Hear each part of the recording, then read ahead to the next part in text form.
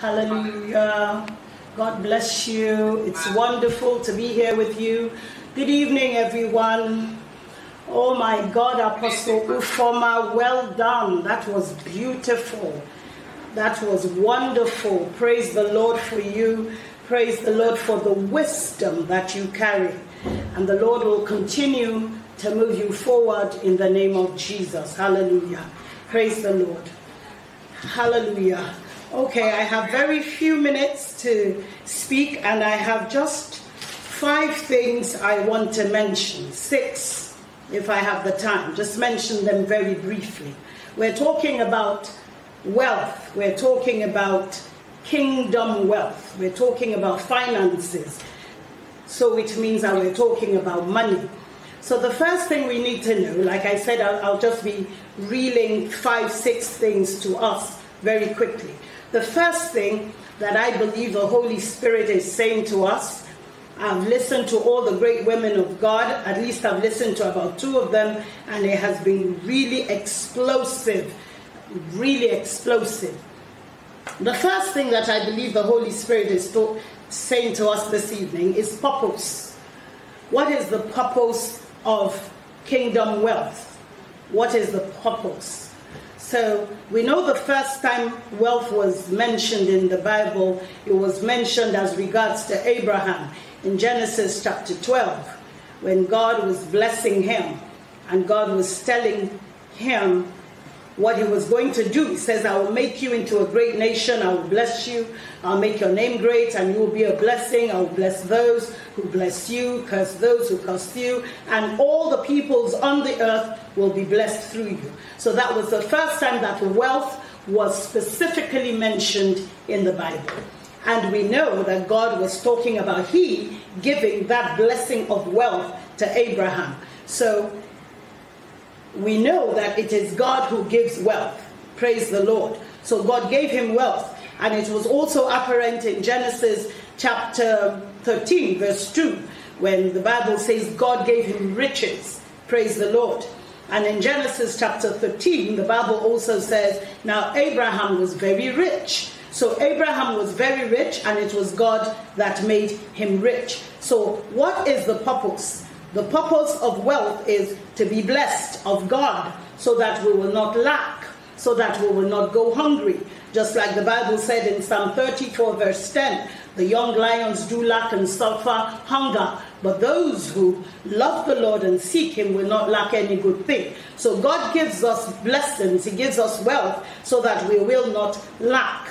That's the most important reason. That's the number one reason that God gives us uh, wealth. Number two, so that we can be a blessing to others. And it's contained in that, co- uh, the covenant blessing that God released unto Abraham. He says, I will bless you and I will make you a blessing. So that's why God gives us wealth. Because it's commonly said that when the purpose of a thing is not known, abuse is, is inevitable.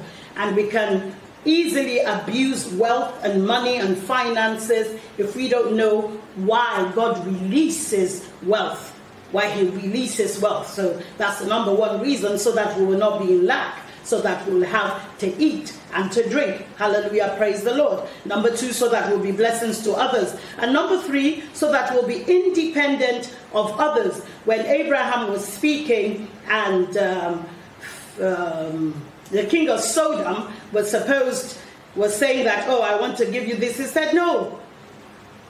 He said, no, I want to, I would, I, I wouldn't take anything of you. He said, I've sworn an oath to God, the God of heaven, that I will not accept anything of you, even a thread or the strap of a sandal, so that you will not be able to say, I made Abraham rich. So God doesn't want anybody to take the credit for our wealth. So that's why He gives us wealth. That's one of the purposes. So that we'll be independent of everyone. We'll be independent of everybody, independent of the world. So that we'll be independent of the world and be dependent only on God. And then the fourth reason why God gives us great wealth is so that He will be our sustainer. He said, he said to Abraham immediately after Abraham spoke to the king of uh, um, Sodom immediately after he said to him, I'm not going to take anything of you because I don't want anyone to say that he made me rich. And God said to him, I am your exceeding great reward. I'm your sustainer. I'm your strength. Praise the Lord. Then, number two. So we said, number one, purpose. We need to understand the purpose of wealth. Number two, we need to also know that you cannot serve two masters. You cannot serve two masters. The Bible says that we are called to serve God in Deuteronomy chapter 11, verse 13, it says, And it shall come to pass if you shall hearken diligently unto my commandments which I command you this day, to love the Lord your God and to serve him with all your heart and with all your soul. So we are called to serve God. And Exodus chapter 23, verse 24 says the same thing. It says, You must serve only the Lord your God. You must serve only the Lord your God. So we are called to serve God, not to serve money. Uh, Matthew chapter 6, verse 24 says, No man can work for two masters, for either he will hate one or love the other, or he will honor one and the other one he will ignore. You cannot work for God and work for money. You cannot serve God and serve money. So a lot of us are working for money, we're serving money. That's what the Bible says. If you work, whosoever you work for is the person that you're serving. So we're not called to work for money. We're called to serve God, to work for God, not to work for money. So now you wonder how do we get money? It is God who gives money. He's the one who blesses you with riches and with wealth. And uh, Apostle Ufoma has said a lot about that. Praise the Lord. Then number three, money does not have the power to sustain you.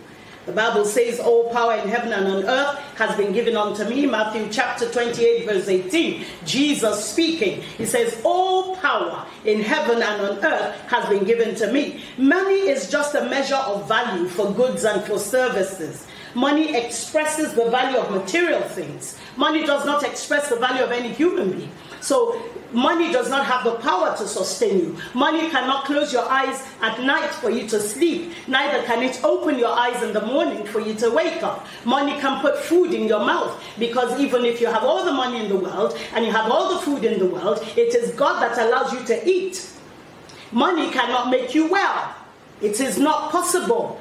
No matter how much you have, look at what, what is happening during this coronavirus. Look at look at what is happening. It's not money that's making people well, it's God. It's God that is keeping us. He's the one that has the power to sustain us. Money does not have the power to sustain anybody. Not at all. Not, a, not, in a, not in any form or manner. Number four, desire for riches and wealth can be a snare. Proverbs 23, verse 4 says, Labor not to be rich labor not to be rich, cease from your wisdom. It says in, in uh, the contemporary English version, it says, Give up trying so hard to be rich. Give it up. the Bible says, Those who strive to be rich are never rich, they fall into temptations. First Timothy chapter 6 verse 9 says, But those who desire to be rich fall into temptation those who crave wealth slip into spiritual snares. So we are called not to seek wealth, look for wealth, crave for wealth, search for it, serve wealth, work for money, but serve God, work for God, crave God, search for God, seek for God. Praise the Lord. And number five, we also need to understand that self worth is not based on your net worth. And that's where a lot of us miss it. We believe that the things that we have, the cars, the houses, the clothes, the jewelry, those are the things that validate us and make people look at us and honor us. But the Bible says that that is not so. In Luke chapter 12, verse 15, it said, Beware, guard against every kind of greed. Life is not measured by how much you own, says the uh, life of a man does not consist in the abundance of the things that he owns. Life is not measured but by how much you own.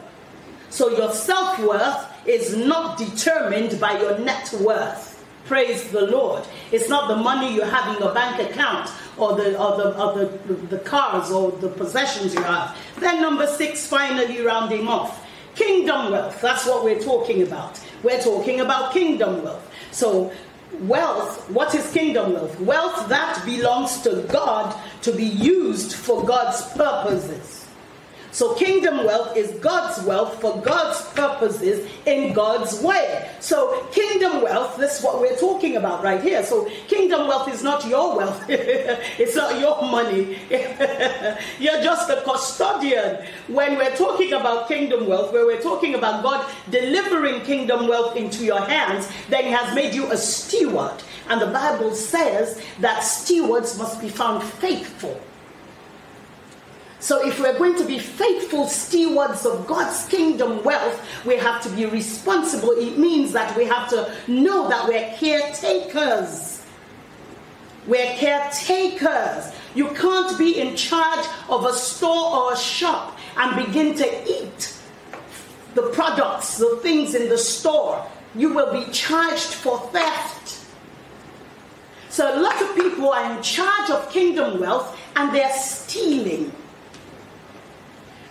they, they are converting the kingdom wealth to themselves because if it is God's property, if it is God's wealth, then it's supposed to be used according to God's purposes, according to God's ideas and ideals. And the example I was giving the other day, where we're talking about vessels in the in the house of God, kingdom wealth says that these things belong to God.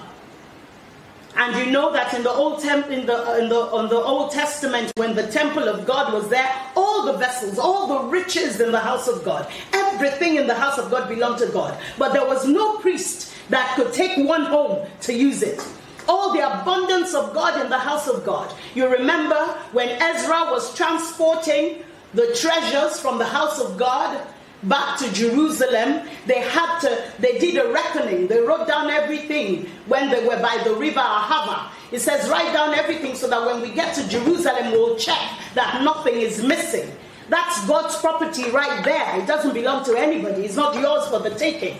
God's responsibility toward you is in Matthew chapter 6. His responsibility toward you is to take care of you, to give you what to eat and to give you what to drink and to give you your shelter. It's God's responsibility. Nobody, we are not called, nobody is called on the face of the earth to come and work for food.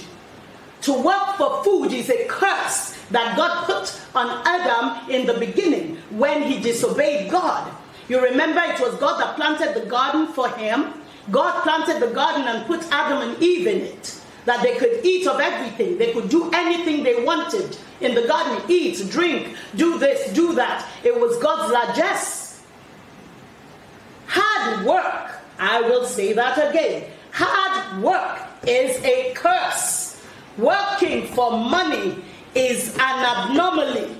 That is an anomaly. Sorry, it's abnormal, it's an anomaly. That is not what we're called to do.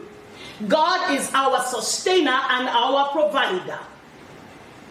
We're supposed to work for purpose, work for God, God could call you as a doctor to work for Him. He could call you as a nurse to work for Him. He could call you as a teacher to work for Him. He could call you as a lawyer, as a carpenter to work for Him. God calls people in different professions to work for His plan and purpose, not so that they can eat. It is a curse to work to eat, to work for food. We're supposed to work for purpose. It is God that sustains a man. What work was Abraham doing? And the Bible says he was rich in cattle. What work? Read. Can we please go back and read our Bibles? What work was he doing? It was God that was blessing him. As he was moving in the purpose of God, God was blessing him. To sweat before you eat is a curse. Go back to your Bibles in Genesis chapter 3. When you curse, when you sweat before you eat, it, that, that person is under the curse. So these are the six insights that um, I believe that the Lord wanted me to share with you tonight. And I believe the Holy Spirit will expand it in our spirits in Jesus' mighty name. God bless you. Amen. Amen. Amen. Thank you, Dr. Kemi.